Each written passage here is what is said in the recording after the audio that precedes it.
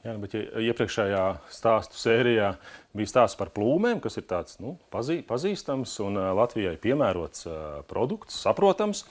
Tad mūsu nākamajā stāstā mēs stāstīsim par arbūzēm, melonēm un vīnogām, kurus, kā izrādās, arī ir iespējams izaudzēt Latvijā. Varbūt Ramona, tu arī esi mēģinājis izaudzēt kaut ko no šiem eksotiskajiem Jā, augiem. es esmu, esmu mēģinājis, bet man nav izdevies. Iespējams, ka laikapstākļi bija pārāk vēsi, lai izaugtu tāds liels un pamatīgi garšīgs arbūs. Bet uh, izskatās, ka šovasar gan eksotiskie augļi ļoti labprāt aug pie mums. Bet par to vairāk skaidro mūsu kolēģis Ralfs Šēniņš. Vasara šogad padavusies tik silta, ka liekas, esam pārcēlušies uz citu klimatisko joslu. Taču vai tas nozīmē, ka mums būtu arī izaugusi eksotisko augļu raža?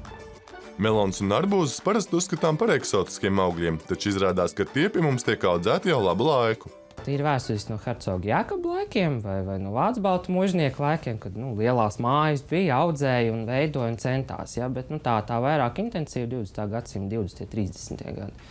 Vairāk. Tad bija tāds neliels pārāvums, un tagad atkal atvērās jauns tirgus. Visi atkal mēģina no jauna. Tirzniecībā gan diezko bieži Latvijas ražu neredzam, un lielā mērā tas saistīts ar laika apstākļiem.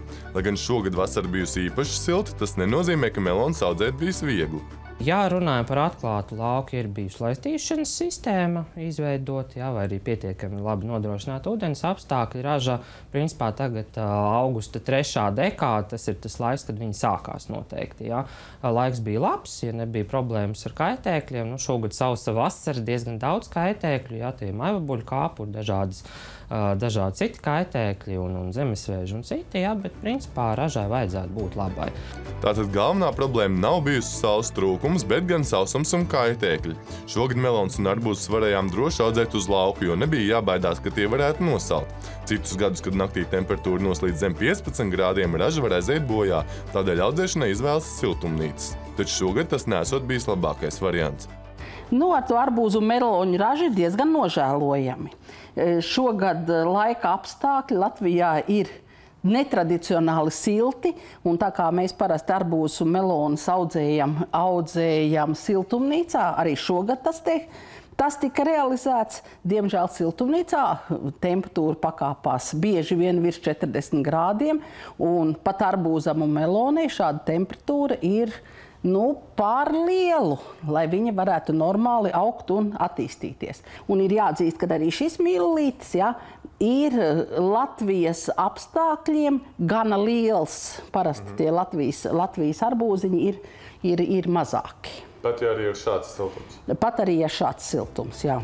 Tātad pretēji citiem gadiem labāku ražu izdevies izaudzēt tiem, kas riskējuši un izvēlējušies audzēt arbūzus un melonus uz lauka. Audzējumi uz atklāta lauka, nu, pilnīgi visi reģioni Latvijā nebūs tam piemēroti. Vairāk tomēr Latgale un, un centrālajie reģioni. Uh, siltumnīca tā ir sekta platība, varam audzēt visā Latvijā, kur vien vēlamies, tie daļai kontrolēti apstākļi, tā kā nav neiespējami. Un ražas arī var iegūt īri piedienīgas. Bet vai nākotnē varam cerēt, ka meloņu un arbūzu ražas pie mums būs lielākas un ir vērts tās sākt audzēt arī piemājas dārziņos? Viss atkarīgs no laika apstākļiem. Un, ja mūsu meteorologi par, varētu paredzēt, kāda būs vasara, es domāju, ka nu, šādu nu, nosacīti eksotu audzētāji varētu būt laimīgi. Teikt, ka mēs spēsim konkurēt ar spāņiem, itāļiem un grieķiem, nu, es neņemšos to teikt. Nu, tad kaut kam jānotiek briesmīgam. Uh, bet uh, noteikti kā vietējais papildu kaut kāds produkts, un viņš noder ļoti labi arī pārstrādē, sukādēm, gal galā degvīnam, tas, kas nenogatavojās un tā tālāk. Tas viennozīmīgi būs ļoti īstenībā saistošs. Lai gan vasara bijusi piemērota, lai arbūzus un melonus audzētu uz lauka, reti kurš paredzēja tik siltus laika apstākļus. Un tie, kas tos audzējas siltumnīcās, šoreiz ir kļūdījušies. Un kurš zina, kāda būs nākamā vasara?